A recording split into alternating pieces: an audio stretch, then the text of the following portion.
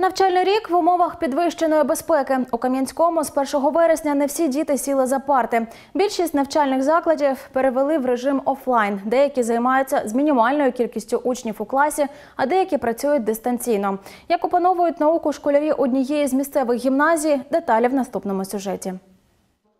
До реалій війни школи Кам'янського підготувалися. Так, в одній з місцевих гімназій створили такі умови, аби учні з першого по п'ятий класи навчалися офлайн. Директорка закладу Тетяна Земляна зазначає, таким школярам потрібен час, аби пристосуватися до нових змін. Те, що відбувається зараз в Україні, і те, що ми зараз навчаємося е, в гімназії, це вже не виклик.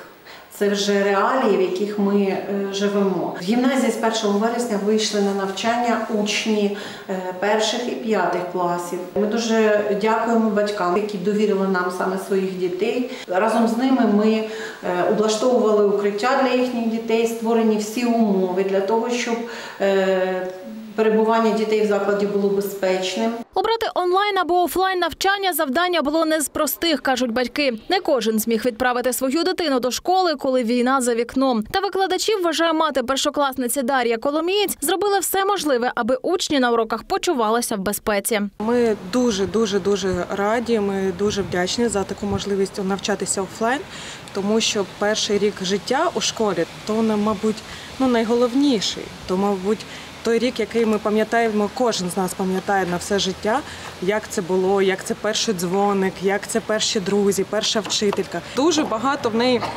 Емоцій, Е, все по-новому. Вона зустріла 30 нових друзів. Вона в захваті. Я в захваті. Більшість батьків обрали для своїх дітей все ж дистанційку. Для онлайн занять вчителі підготували цікавинки. Зокрема, на уроках використовують різноманітні інтернет-платформи. Школярі мають можливість використовувати різні додатки та інтерактивні тести, працювати командно. Під час дистанційного навчання ми використовуємо різні форми роботи. Є можливість об'єднувати дітей е, в окремі кімнати, е, в яких вони виконують певні завдання. Дистанційна освіта не обмежує нас в можливостях, і в клас-тайм можливо не просто тестування проводити за предметом, а от сьогодні виконуємо, наприклад, у вигляді командної гри. Вчителі, які викладають у школі офлайн, несуть відповідальність за безпеку малечі, особливо під час повітряних тривог. Коли вмикається сирена, викладачі мають швидко зорієнтуватися, згуртувати малечу і діяти за правилами. Також за короткий час вони мають розповісти, що вимагає освітня програма. Крім того, викладачі мають бути ще й стресостійкими, аби підтримувати дітей. В першу чергу ми несемо відповідальність за їх знання і намагаємося дати якомога більше дітям. Якщо це є офлайн урок, то ми говоримо дітям, що увага, діти лунає сигнал повітряної тривоги. А вони збираються по парам, і ми виходимо, йдемо в укриття, і вже в укритті проводимо урок. П'яті класи прибігають вони дуже щасливі, і навіть заняття в укритті в них викликають захват. Спочатку вони були розгублені, вони не знали, як це буде.